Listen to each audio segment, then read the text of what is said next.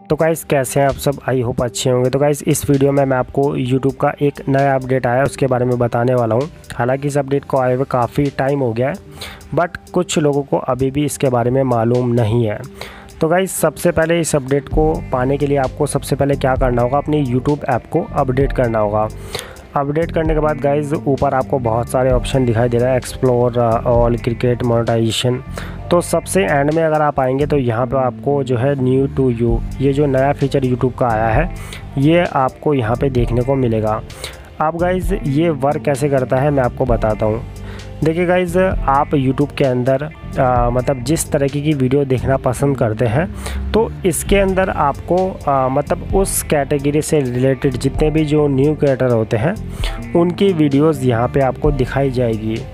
या जो है आ, बिल्कुल फ्रेश वीडियो आपको यहाँ पे दिखाई जाएगी जो आपने पहले कभी नहीं देखी होगी या आपने देखी भी होगी तो मतलब बहुत कम देखी होगी।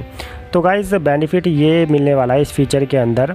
जितने भी जो न्यू क्रिएटर होते हैं जिनकी वीडियोस पे व्यू नहीं आते हैं तो उनकी वीडियोस भी जो है यहाँ पे यूट्यूब रिकमेंड करेगा आपको। क्योंकि देखिए यूट्यूब में क्या होता है कि हम जिस कैटेगरी से रिलेटेड वीडियो देखना पसंद करते हैं बार बार जो है यूट्यूब उन्हीं की वीडियो जो है हमको रिकमेंड करता है। तो इस फीचर के अंदर आपको जो है आ, मतलब आप जिन कैटेगरी की वीडियो देखना पसंद करते हैं उन कैटेगरी के जितने भी जो स्मॉल क्रिएटर होते हैं या ऐसी वीडियो होती हैं, जो आपने पहले कभी नहीं देखी होंगी, वो वीडियो आपको यहाँ पे रिकमेंड की जाती है। तो गाइस इस फीचर से जो है ऑलमोस्ट सभी क्रिएटर को जो है दो बेनिफिट मिलने वाले हैं। पहला तो ये उनके चैनल पे व्यू बढ़ने स्टार्ट हो जाएँगे और दूसरा ये कि अगर वो अच्छी वीडियो क्रिएट करते हैं तो उनका चैनल भी जो है लोग यहाँ पे सब्सक्राइब करेंगे।